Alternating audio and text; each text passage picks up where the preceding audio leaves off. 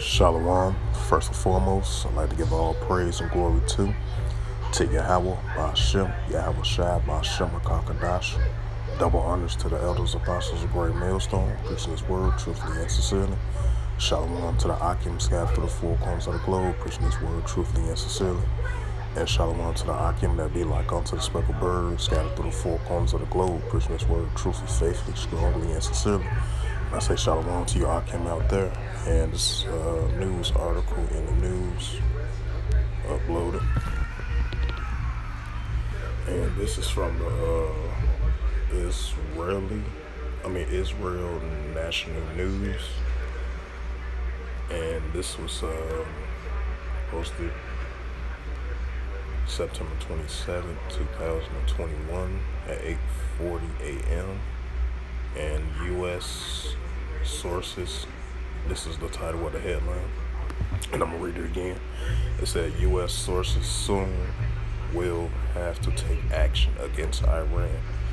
Uh, Tehran may be intentionally taking its time returning to negotiations, sources say. And it reads on with the article.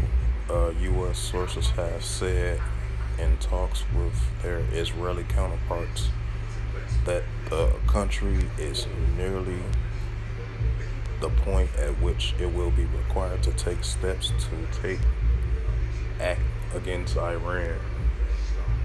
Kan News reports. And it says uh, U.S. sources have also expressed concern that Tehran is intentionally dragging out the return to uh, the talks of the resumption of the nuclear deal in order to retrench itself even more in the nuclear arena and to enrich uranium. This issue came up in several discussions that the senior U.S. official held with Prime Israeli Prime Minister Naftali Bennett.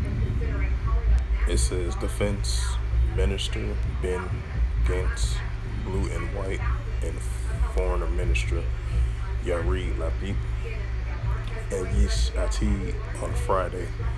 Uh, Iran's new Foreign Minister Hassan Amar Abdel Halim uh, said the country will return to the nuclear negotiations very soon, the Associated Press uh, reported. And then on Thursday, which was last week, uh, a senior U.S. official said that the window is still open to revive the 2015 nuclear deal, but it won't be forever. And it says, We are still interested. We still want to come back in the table. Uh, the senior State Department official said in a telephone briefing, as quoted by Reuters. The window of opportunity is open. It won't open forever if Iran takes different course. That bottom part down there. But yeah, as I was, uh, you know, reading through the article and everything, so it kind of seemed like United States, they kind of impatient, very impatient with uh, Iran's direction with the nuclear deal. You know, they kind of feel like they, uh, United States kind of feel like Iran is dragging back and then taking his own time with the, you know, nuclear deal and everything like that. So, you know, and then you got uh, United States counterpart, which is, uh, you know, Israel. Because, you know, the United States and Israel, you know, they, uh, you know, they allies. Both countries are allies, you know.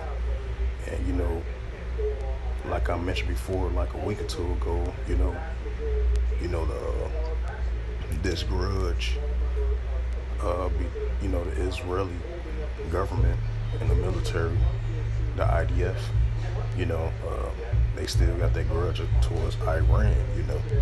So even though, you know, United States, they trying to still, they still trying to, you know, come to an uh, negotiations talk with Iran, you know, but, you know, Israel still gonna tell United States, hey, you know, we shouldn't have any negotiations with Iran because, you know, because uh, you know Iran believe you know they can't trust I mean, I meant to say, you know, Israel can't trust Iran like that because you know they still got that that that that grudge and beef between each other. You know, so you know, hey, it's it's gonna be very difficult for them to for the United States and Iran to come into an agreement because you know uh, Iran they haven't forget to what happened to their they two two main leaders, you know they top scientists and they top uh, general, you know.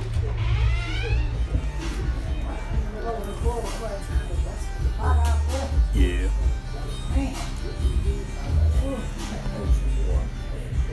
Mm -hmm. Yep.